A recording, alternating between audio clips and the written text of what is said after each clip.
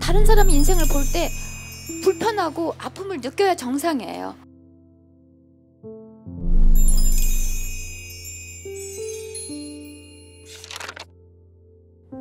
문학은 우리의 얼어붙은 내면을 깨는 도끼여야 된다. 이런 말이 있어요. 왜냐하면 세상은 끊임없이 바뀌고 수많은 사람들이 같이 살아야 되는 시대이기 때문에 예. 그래서 조금씩 조금씩 깨야 되는 거죠. 이거를 근데 따, 따뜻하게 녹이는 것도 아니에요. 그런 방식으로는 이게 안 깨져요. 깨, 도깨어야 돼요. 깨야 돼요. 조금씩 다른 사람 인생을 볼 때 불편하고 아픔을 느껴야 정상이에요. 예. 그런 것을 통해서 우리가 좀 업데이트 되는 겁니다. 예. 저한테 계속 따라다니는 저를 평가하는 수식어는 냉소와 독설의 작가예요.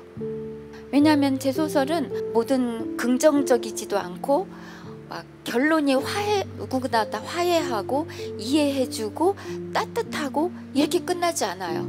그리고 뭔지 행복에 대한 어떤 기대를 품게 하는 그런 소설이 아니에요. 질문을 하는 소설가기 때문에 질문은 굉장히 불편하게 만듭니다. 사람을 불편하게 만들어요. 그래서 지금 내가 알고 있는 이대로 그냥 사는 게 편해요. 누구나.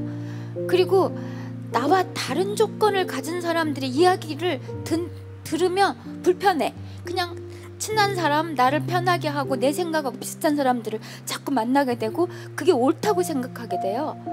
그렇게 점점 경직되는 사람들에게 필요한 게 뭐 그래 이만하면 괜찮지 잘 될 거야 뭐 지금까지 뭐 그 힘들었잖아 이런 간단한 미봉적인 어떤 그런 위로보다 진짜 질문 어 내가 틀렸을지도 몰라 내가 알고 있는 세계는 굉장히 부분적인 것일 거야 그러면은 다른 사람들은 어떤 생각을 갖고 살고 이 세상에 다른 조건이라는 건 어떤 인생이 있는가?